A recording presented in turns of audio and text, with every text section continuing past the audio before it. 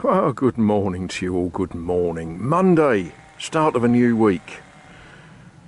In the background, noise of people cutting firewood. In the foreground, a Christmas tree. Ah, isn't that sweet? No, lovely. it is lovely. I'm, I'm pleased how much that's grown in the year. And yeah, it's it's there because there it will yeah, it, it will be visible to passers-by. Not that we have very many at the moment. And my good neighbours, Eric and Pascal, who live in that house there.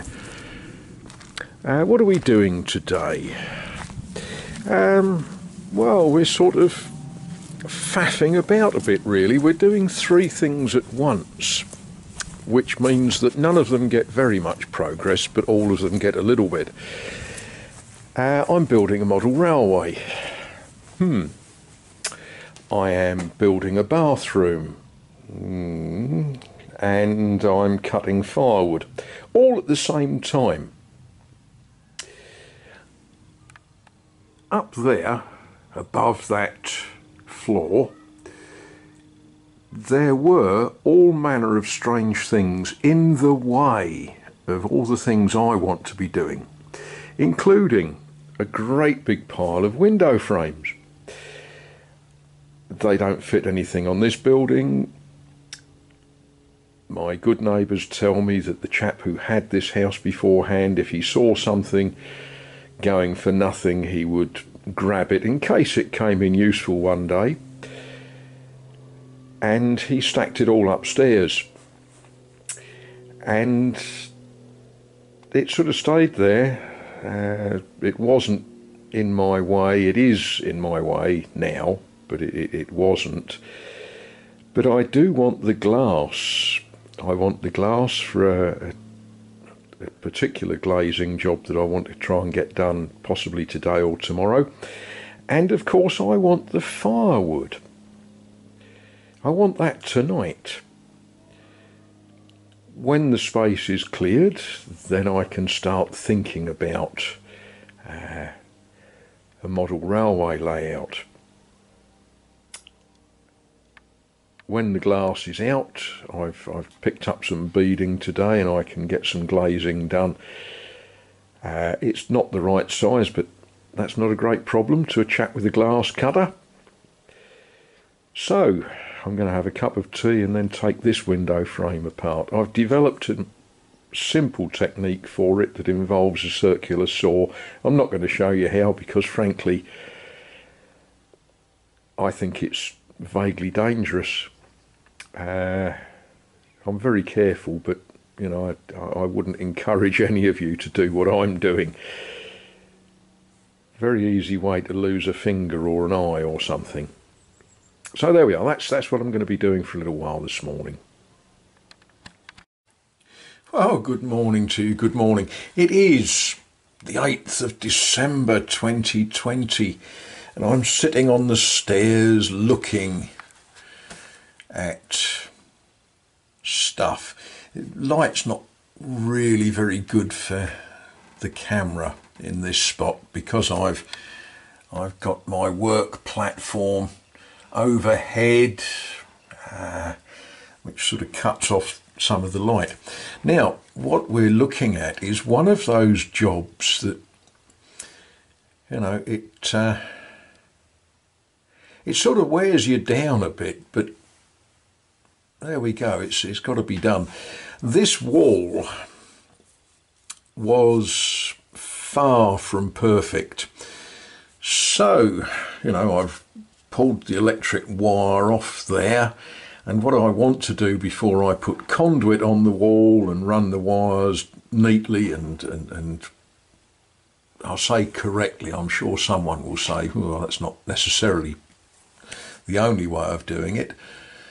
Uh, I want to get this wall painted and a little bit nicer than it is.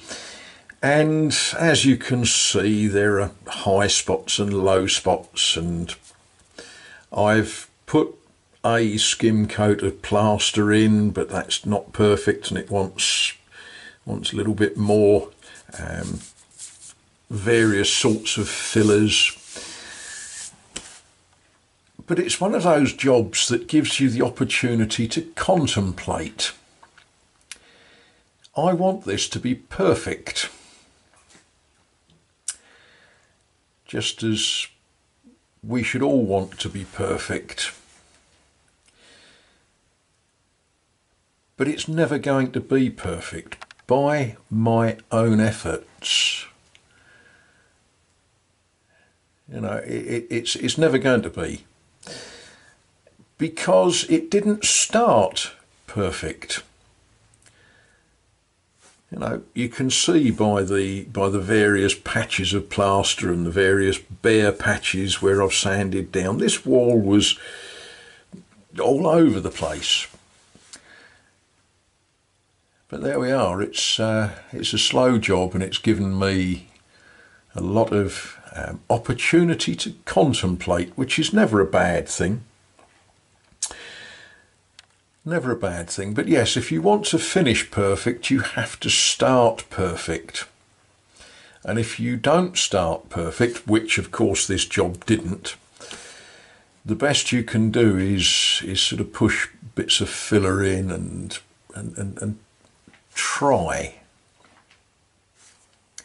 Which sort of leads me on to what today is, and I'm going to change locations to talk about that and we change locations to somewhere where I found other wires that, um, well, yeah, uh, that aren't exactly pretty, but we are making progress and we're getting getting things tidied up and fitted. They all want cleaning. Every time I do things, I create dust the French word is poussière. And I seem to be creating that at a faster rate than, uh, than the vacuum cleaner, le aspirateur, uh, can cope with. But, you know. But today, let's not trip over anything.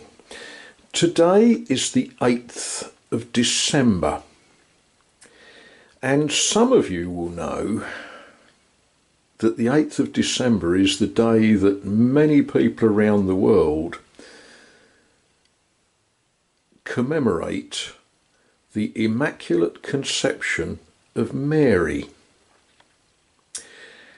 Yeah, a lot of you will have heard and will understand about the Immaculate Conception of Christ. But there's a large tradition that says Mary also was immaculately conceived. And this is where my contemplation had been taking me. If you want to make something perfect, then you've got to start from a stable, perfect base.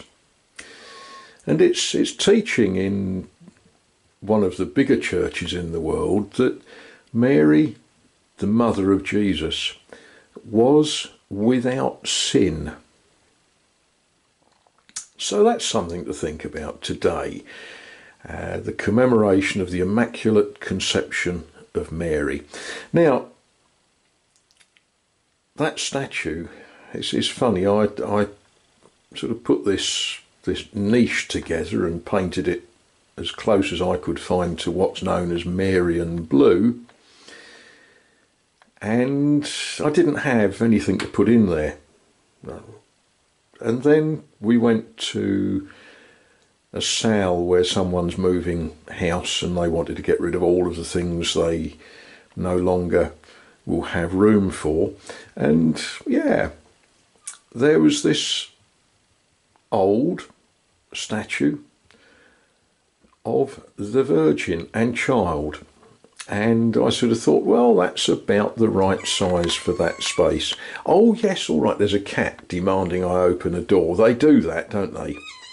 Yes, all right, in a minute. Oh, yeah, cat. Hmm. Uh, yeah, so a negotiation was had and a remarkably cheap price was agreed on. And so we acquired a statue to go in the niche. I know some of you will be pleased by that.